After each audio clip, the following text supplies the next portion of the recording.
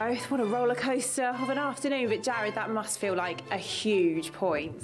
No, it's a massive point. Um, you know, coming into this, probably no one expected us to get anything from the game.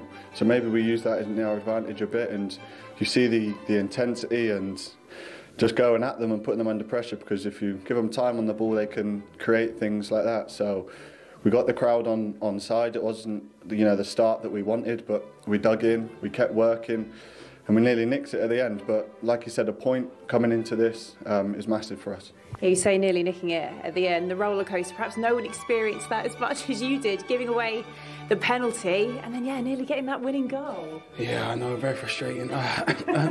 no, but um, with the pen, uh, I think it's so harsh. Obviously, my arm's literally just sticking out as, as close to the body as it can be. And the only thing I can do is sit my hand behind my back. Um, but obviously, take positives from the game. Before the game, we've 100% taken the point from that. It's a massive point to get us um, a, a point higher in the league, and we're just going to grow from that because obviously, you see the confidence that we got going 2 0 down, managed to get 2 2 with the league leaders. We're just going to build on it and keep going. I'm keen to stick with the positives, but I must ask what went on in that first 10, 20 minutes? You just couldn't seem to get any kind of grip on it. No, do you know what? I think we started kind of a bit on the front foot um, and tried to get about them. And, you know, it was two probably lapses of concentration in, in the penalty box where, you know, we weren't tracking our runners and, you know, we got punished for it. But like Mickey said, the, the character in this in this group has never has never gone. Um, of course, it hasn't been what we've wanted, but we've never never let our heads go. We always, you know, you see at the end of the game there, everyone's on their feet. You know how much this means for us, for the whole fans, for everyone, um, and a massive point. Yeah, huge point for West Ham United. Uh, Michail Antonio didn't think it was a penalty. Centre forward Union, did you agree? I didn't think it was a penalty either. But the way the game is now, they get given, but it's not a penalty. I'm sorry, it's not a penalty. Totally agree. Yeah, I, I didn't think it was a penalty at all. Um, in fact, I think he he uh, he said everything that we needed to know in the interview there, Antonio. Um, I thought his, his hand wasn't really in an unnatural position. I thought the shot actually came from about a yard, a yard and a half away.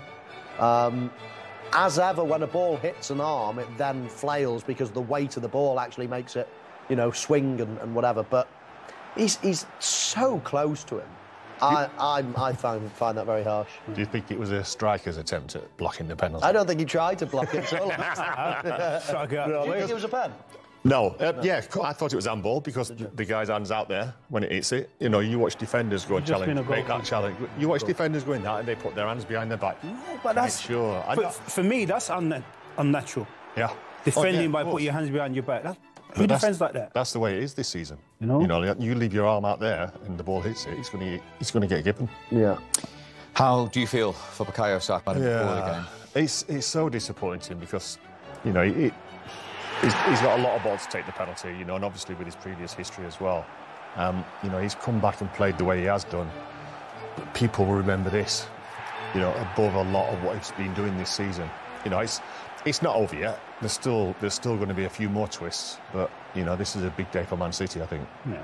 That's potentially a twist, that moment there, isn't It it? is, and uh, wa- watching the last couple of games, Arsenal, last week Liverpool and this week, game management. If you go two goals up, it's about game management from there. Yeah. Another team's going to create chances, of course, but as Arsenal, you have got to say to yourself, we need to get a third one here. I think they once they went two 0 Arsenal comfortable, very very comfortable, but I thought they dropped off a little bit. Intensity dropped with with two 0 up, away to West Ham. West Ham get themselves back in the game, fortunately via a penalty. Game changes. Everything changed on that penalty.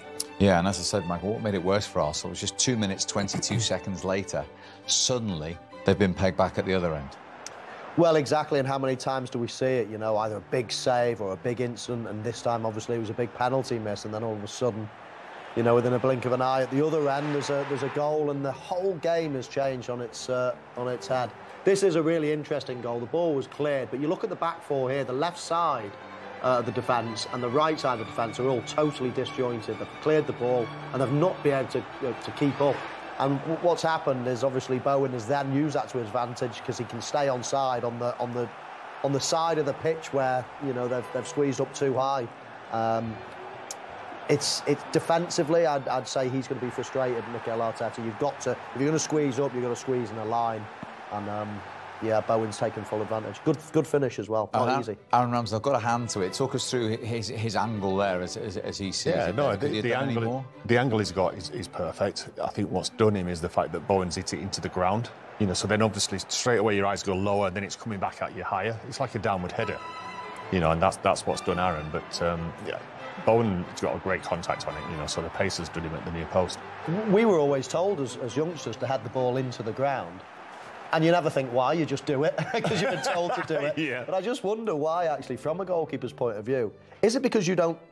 It's hard to then judge how high it's going to Yeah. bounce, and, it, and it's all, as you say, you're down and then you're up. It generates away. more pace as well, doesn't? Maybe, Once yeah. hits the turf. and you, sometimes you'll get skid on it as well. You know, but it's when it goes down because you, you look down and then it's coming back up at you. Mm. You know, that's that's the hardest to just. It's hard to then judge how high it's going to Yeah. bounce, and, it, and it's all, as you say, you're down and then you're up.